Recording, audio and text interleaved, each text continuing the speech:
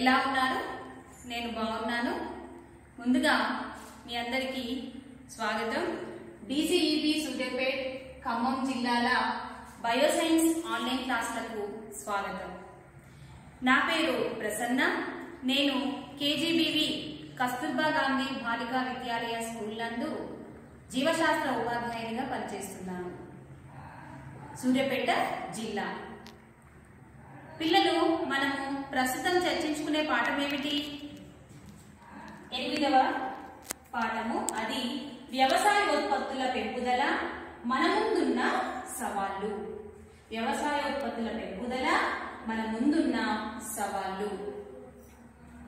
ఈరోజు మనం చర్చించుకోబోయే అంశము ఈ పాఠంలోని ఒక అంశము అదేంటి అంటే మొక్కలకు అవసరమయ్యే పోషకాలు నేలలో ఉన్న పోషకాలు. పోషకాలు అనేవి మొక్కలకు కొంతమేర అవసరం అవుతాయి కదా. ఆ మొక్కలకు అవసరమయ్యే పోషకాలు ఏమిటి? నేలలో ఉన్న పోషకాలు ఏమిటి? మరియు స్థూల పోషకాలు అంటే ఏమిటి? వాటి ఉదాహరణలు.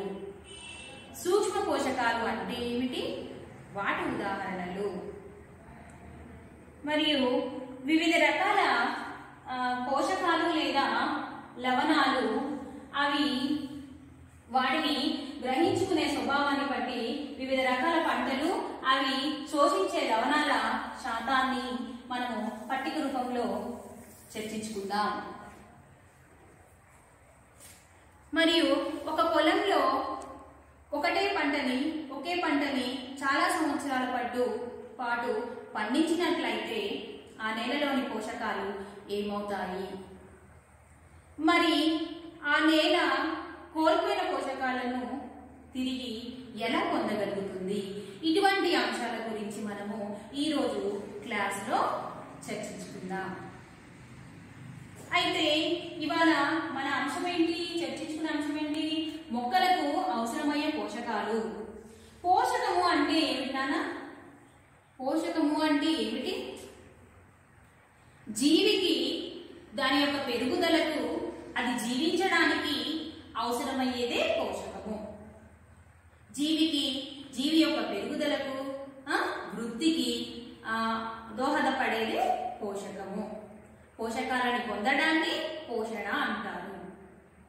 మీకు తెలుసు పిల్లలు మనము మన శరీరము వృద్ధి చెందటానికి మనకు కూడా కొన్ని రకాల పోషకాలు అనేవి అవసరం ఉన్నాయి కార్బోహైడ్రేట్లు ప్రోటీన్లు విటమిన్లు మరియు ఖనిజ లవణాలు తక్కువ మొత్తంలో క్రొవ్వులు మరియు నీరు.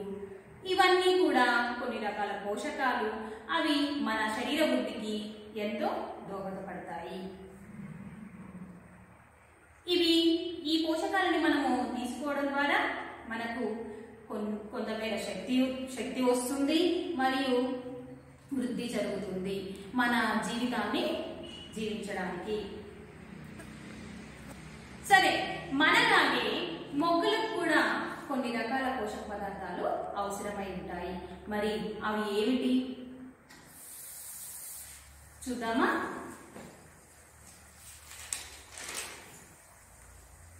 ముందుగా మీరు ఏడవ తరగతిలో నేర్చుకున్నారు దేని గురించి కిరణజన్య సంయోగ క్రియ గురించి నేర్చుకున్నారు గుర్తుందా మీకు కిరణజన్య సంయోగ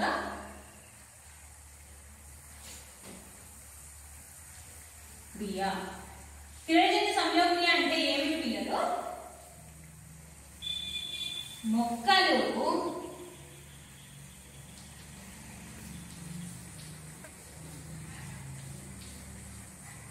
కిరణజన్య సంయోగ ఏం జరుగుతుంది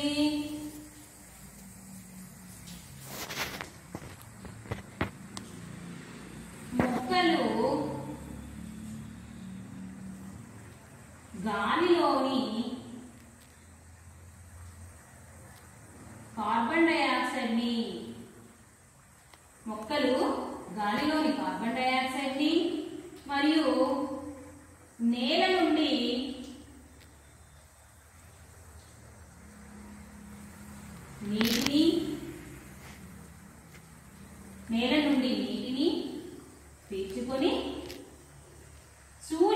సమక్షంలో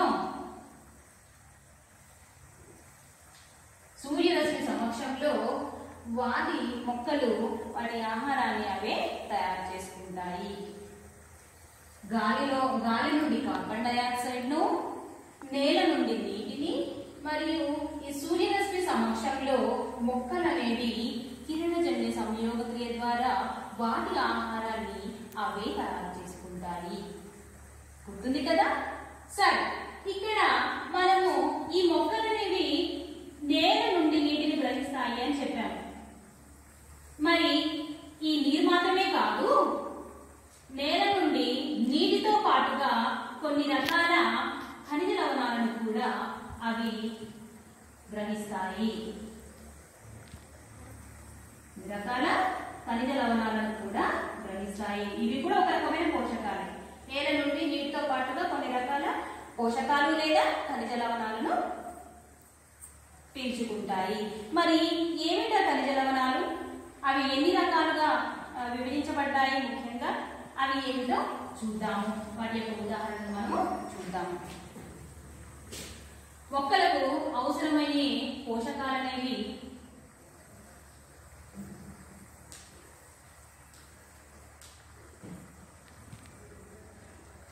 రెండు రకాలుగా ముఖ్యంగా మెయిన్లీ రెండు రకాలుగా విభజించబడ్డాయి. అవి ఒకటి స్థూల పోషకాలు. స్థూల పోషకాలు. రెండవది వచ్చి సూక్ష్మ పోషకాలు.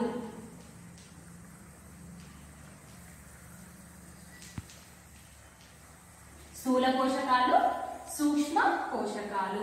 మరి స్థూల పోషకాలు అంటే ఏమిటి? స్థూల అంటే అధిక లేదా పెద్ద ఓకేనా స్థూల పోషకాలు అంటే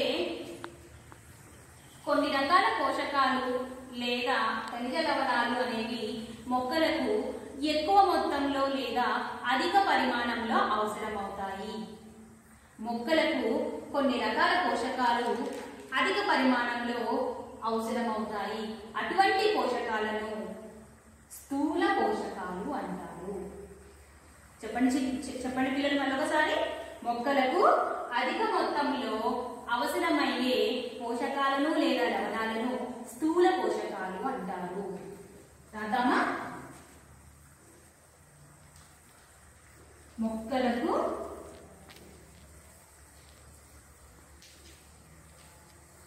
అధిక మొత్తంలో అవసరమయ్యే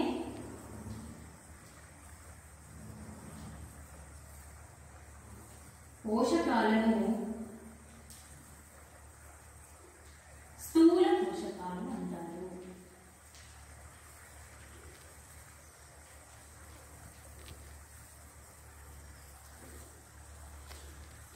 ఓకేనా? స్థూల పోషకాలు అంటారు.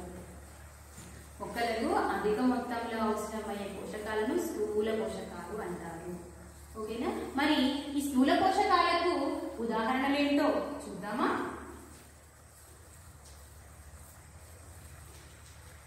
ఉదాహరణలు నత్రజని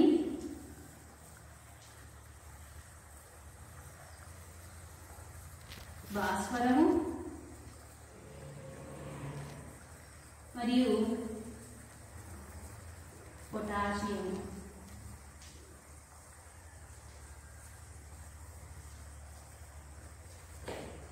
స్థూల పోషకాలకు మొక్కలకు అవసరమయ్యే అధిక మొత్తంలో అవసరమయ్యే వాటిని స్థూల పోషకాలు అంటారు. ఈ స్థూల పోషకాలకు ఉదాహరణలు ఏమిటి అంటే నత్రజని భాస్వరము పొటాషియము. నత్రజనిని మనము సాధారణంగా దాని రసాయనిక గుర్తుపరంగా దాన్ని ఎన్ తోటి సూచిస్తాము. నైట్రోజన్. నత్రజని ఇంగ్లీష్ ఏమంటాము? నైట్రోజన్ కాబట్టి ఎన్ భాస్వరము అంటే ఫాస్ఫరస్ అంటాము ఇంగ్లీష్లో కెమికల్ నేమ్ వచ్చేసి ఫాస్ఫరస్ ఇంగ్లీష్లో సో దాన్ని మనము పీతో సూచిస్తాము. పొటాషియం ని మనం కెమికల్ నేము దాని యొక్క రసాయనిక నామం ఏమిటి పొటాషియంకి అంటే? క్యాలియము క్యాలియం క్యాలియం కాబట్టి దాన్ని కేతో సూచిస్తాము. ఈ నత్రజని భాస్వరము పొటాషియం అనేది స్థూల మూలకాలుగా స్థూల పోషకాలుగా ఉండి మొక్కలకు అధిక పరిమాణంలో ఉపయోగపడతాయి. సరే ఈ స్థూల పోషకాలను మనము చార్ట్లో గమనించండి ఒకసారి. చూడండి స్థూల పోషకాలు నత్రజని భాస్వరము పొటాషియము. ఇవి పెద్దగా రాశాను చూడండి లెటర్స్ ఇవి మొక్కలకు అనేవి అధిక పరిమాణంలో అవసరమవుతాయి. మరి సూక్ష్మ పోషకాలు అంటే ఏమిటి? చూద్దాం. సూక్ష్మ అంటే చిన్న చిన్న చిన్న మొత్తంలో లేదా తక్కువ. ఇక్కడ విషయంకి వస్తే ఏంటంటే తక్కువ పరిమాణంలో. పోషకాలు లేదా లవణాలు ఏవైతే మొక్కలకు తక్కువ పరిమాణంలో లేదా అల్ప పరిమాణంలో అవసరమవుతాయో ఆ పోషకాలని సూక్ష్మ పోషకాలు అని అంటారు. మొక్కలకు ఏ పోషకాలైతే అల్ప పరిమాణంలో లేదా తక్కువ పరిమాణంలో అవసరమవుతాయో వాటిని సూక్ష్మ పోషకాలు అంటారు. సూక్ష్మ పోషకాలు. స్థూల పోషకాలు అంటే పెద్దవి. ఎక్కువ పరిమాణంలో అవసరమయ్యేవి. మరి ఇక్కడ వచ్చేసి సూక్ష్మ పోషకాలు అంటే తక్కువ పరిమాణంలో చాలా తక్కువ పరిమాణంలో అవసరమయ్యేవి సూక్ష్మ పోషకాలు.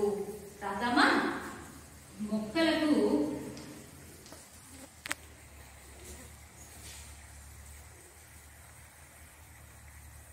అల్ప లేదా చాలా తక్కువ పరిమాణంలో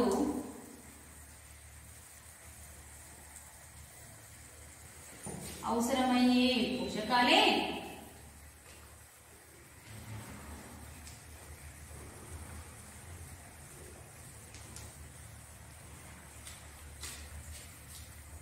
సూక్ష్మ పోషకాలు అంటారు.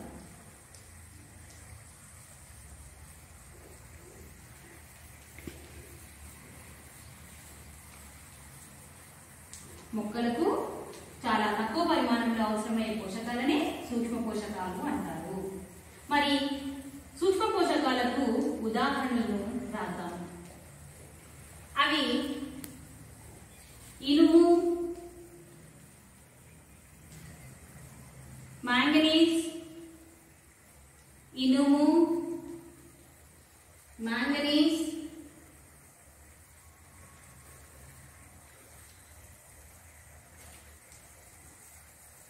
boron zinc boron zinc copper copper molybdenum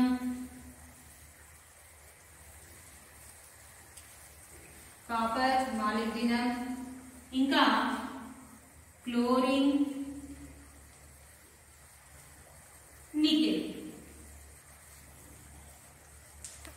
ఇనుము manganese boron zinc copper molybdenum chlorine nickel వంటి లవణాలు అనేవి పోషకాలు అనేవి చాలా తక్కువ పరిమాణంలో మొక్కలకు అవసరం ఉంటాయి. మరి ఈ ఇనుముని మనము ఏ రసాయన నామం ఇనుము యొక్క రసాయన నామం ఏమిటంటే ఫెర్రస్. ఫెర్రస్ కాబట్టి ఎఫ్ఈ అంటాము ఇనుము యొక్క రసాయన నామం ఏంటి? ఫెర్రస్. కాబట్టి దాన్ని మనము ఎఫ్ఈతో సూచిస్తాము. మ్యాంగనీస్ వచ్చేసి ఎంఎన్తో సూచిస్తాము. Boron B zinc Z N copper copper యొక్క రసాయన నామము ఆవర్తన పట్టికలో ఉన్న రసాయన నామం ఏమిటి అంటే క్యూప్రస్. ఏంటది? క్యూప్రస్ కాబట్టి కాపర్ని మనం సియు తో సూచిస్తాము. సియు నెక్స్ట్ మాలిబ్డినం ని ఎంబి తో సూచిస్తాము. క్లోరిన్ని సిఎల్ నికెల్ వచ్చేసి ఎన్ఐ సో ఇవన్నీ సూక్ష్మ పోషకాలు మొక్కలకి తక్కువ పరిమాణంలో అవసరమవుతుంటాయి.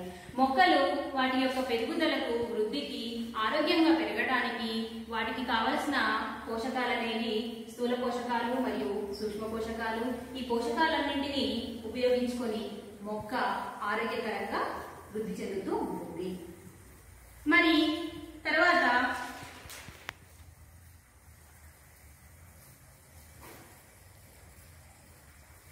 పట్టికను గమనిద్దాం ఈ పట్టికలో మనం ఏం నేర్చుకున్నామంటే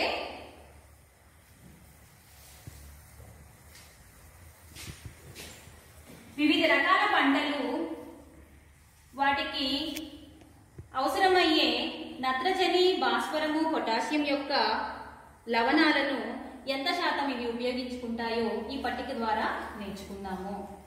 ఇక్కడ వివిధ రకాలు పంటలు వివిధ రకాల పంటలు అవి శోషించే లవణాల శాతాలను మనము ఇక్కడ చర్చించుకుందాం. ముందుగా వరి పంటను చూస్తే వరి పంటకు హెక్టార్కి దిగుబడి రెండు వేల రెండు వందల నలభై కేజీల దిగుబడి ఉంటుంది.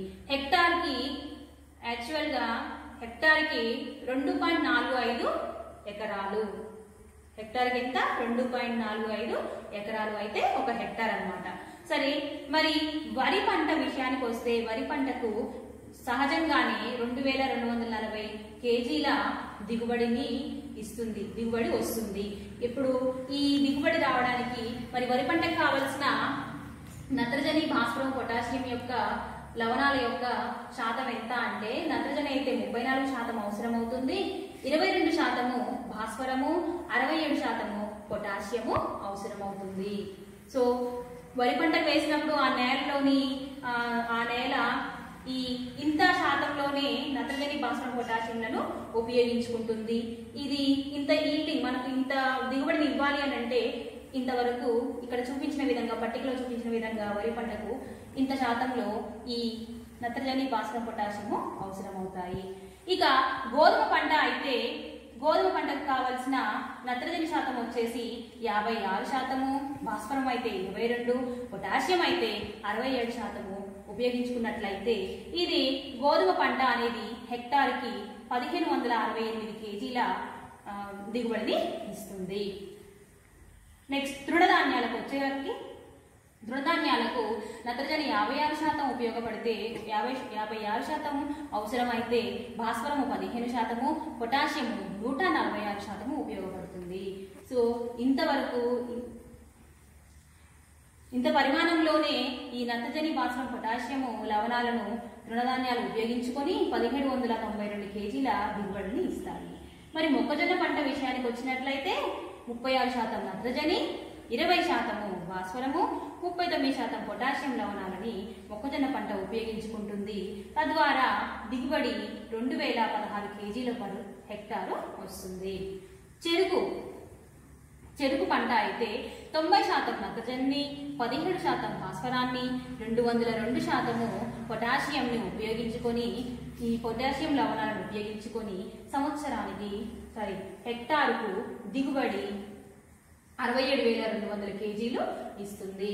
ఇక చివరిగా వేరుశనగ పంటను చూసినట్లయితే అది డెబ్బై ఎనిమిది శాతం నత్రజనిని భాస్వరమును డెబ్బై ఎనిమిది శాతము మరియు నలభై ఐదు శాతం పొటాషియంని ఉపయోగించుకొని పంతొమ్మిది వందల నాలుగు కేజీల దిగుబడిని ఒక హెక్టార్కు ఇస్తుంది.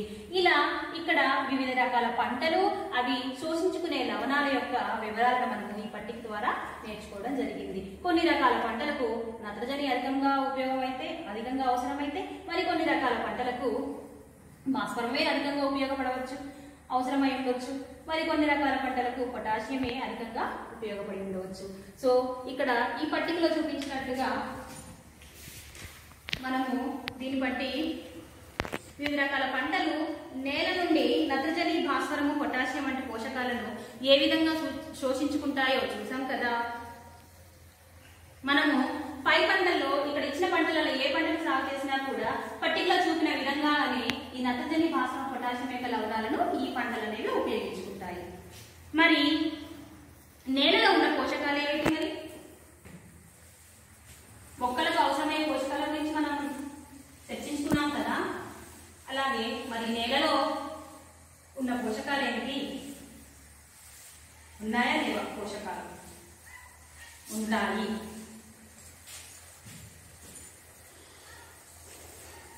నేలలో ఉన్న పోషకాలు. ఇప్పుడు చెప్పిన మన పోషకాలన్నీ కూడా నేల నుంచే వచ్చాయి సో ఈ పోషకాలను నేలలో ఉన్న పోషకాలు ఏమిటి ఎలా నేలకు ఆ పోషకాలు చేర్చబడుతున్నాయి? చూద్దాం. అయితే ముందుగా ఒక పొలంలో చాలా సంవత్సరాల పాటు ఒకే పంటని మనము పండించినట్లయితే ఏం జరుగుతుంది? నేలలోని పోషకాలు ఏమవుతాయి? ఒక పొలంలో ఒకటే పంటని మనము చాలా సంవత్సరాలు పండించినట్లయితే నేలలోని పోషకాలు తగ్గుతాయి. పోషక విలువలు అనేవి తగ్గిపోతాయి. ఎందుకంటే చాలా సంవత్సరాల పాటు ఒకటే పంటని మనం కంటిన్యూస్గా వేసామనుకోండి అందులో ఉన్న పోషకాల విలువలు అనేవి తగ్గిపోతాయి. మరియు ఆ నేల అనేది క్రమంగా పంట పండడానికి అనుకూలంగా ఉండదు. అందులో ఆల్రెడీ ఉన్న ముందుగానే ఉన్న ఆ, పోషకాలన్నిటినీ ముందు ముందుగా వేసుకుంటూ వచ్చిన ఆ పంటలన్నీ ఉపయోగించుకుంటాయి. చివరిగా వచ్చే పంట వరకు ఆ ఉన్న పోషకాలన్నీ కూడా క్షీణించిపోతాయి. కాబట్టి నేల యొక్క పోషక విలువలు అనేది తగ్గిపోతాయి. మరి ఈ నేల అనేది ఈ పోషక పదార్థాలను తిరిగి ఎలా పొందగలుగుతుంది? సరే ఇద నేలలో ఉన్న పోషక పదార్థాలను కోల్పోయిన పోషక పదార్థాలని ఈ నేల అనేక రకాల మార్గాల ద్వారా తిరిగి పొందుతుంది. నేలలో కోల్పోయిన పోషక పదార్థాలని అనేక రకాల మార్గాల ద్వారా తిరిగి పొందుతుంది. చేర్చబడతాయి. అవేంటి అంటే సహజంగా మనం చూస్తూ ఉన్నాము కొన్ని రకాల పోషక పదార్థాలు సహజంగా జరిగే చర్యలు ఉన్నాయి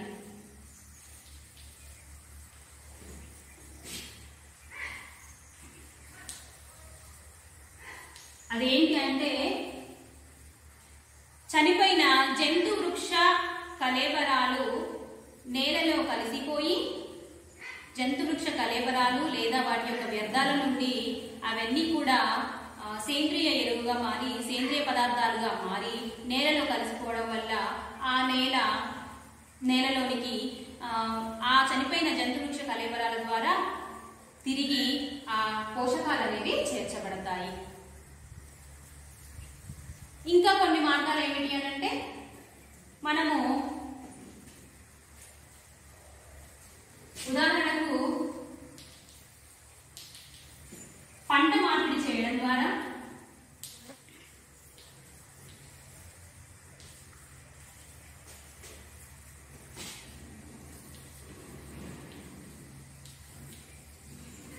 ఇంకా సేంద్రియ ఎరువులను నేలలోకి సహజ ఎరువులను లేదా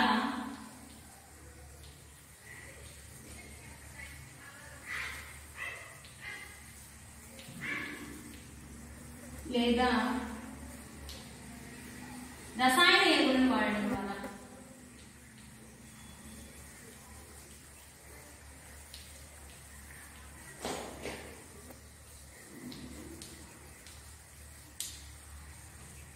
నేలలోకి ఆ కోల్పోయిన పోషక పదార్థాలు లేదా ఖనిజ లవణాలను నేల తిరిగి ఎలా పొందుతుంది అని అంటే జనరల్గా సహజంగా జరిగే చర్యలు ఏంటంటే జంతు వృక్ష కలేబరాలు చనిపోయిన తర్వాత అవి కుల్లి కుల్ల కుల్లింపబడి అవన్నీ కూడా నేలలో వాటి యొక్క శరీరంలో ఉన్న ఆ పోషక విలువలన్నీ కూడా నేలలో కలుసుకోవడం వల్ల మళ్ళీ తిరిగి మొక్కలు వాటిని ఉపయోగించుకోవడం వల్ల జరుగుతూ ఉంది.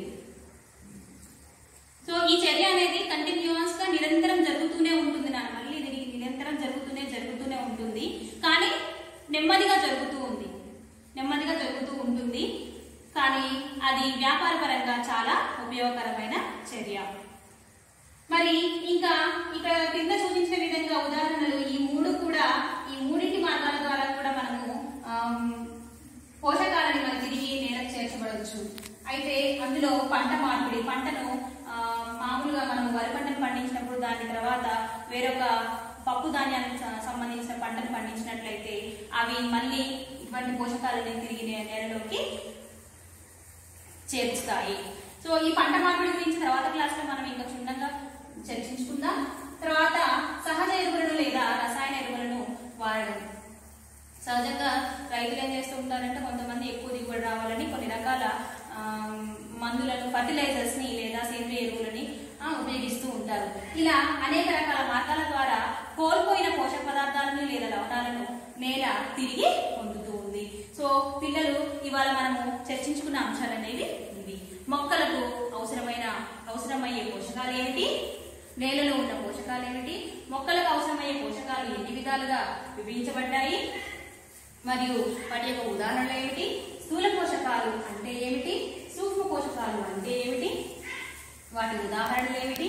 మరియు ఇక్కడ వివిధ రకాల పంటలు అవి శోషించుకునే నత్రజని భాస్వరం పొటాషియం యొక్క లవణాల యొక్క శాతం ఏమిటి అనే అంశాల గురించి ఇవాళ మనము చర్చించుకున్నాం మీ అందరికీ అర్థమైంది అనుకుంటున్నాను అర్థమైంది అనుకుంటా పిల్లలు అందరికీ అర్థమైందా? ధన్యవాదములు.